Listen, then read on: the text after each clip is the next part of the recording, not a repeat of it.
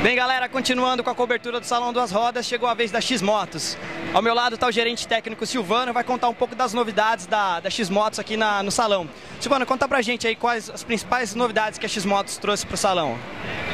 É, trouxemos é, a, XM, a, nova XM 250 que agora esse ano veio renovada, ela veio com chassi de alumínio.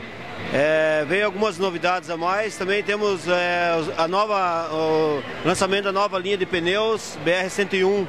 É, são 14 é, modelos de pneus novos que startamos e, e, além dessa temos várias novidades, uma linha é, de peças é, que não tínhamos até então, que, que estão inovando. São os 500 novos itens que estão chegando esse ano ainda, é, novos produtos. Legal. E falando dos pneus, os pneus são para todos os tipos de motos? São, é, são a linha popular, linha 125 até a linha CB300.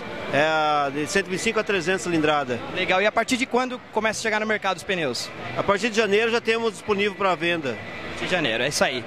Obrigado, Silvano. É isso aí, galera. Continue ligados. Daqui a pouco mais novidades do Salão Duas Rodas. Valeu!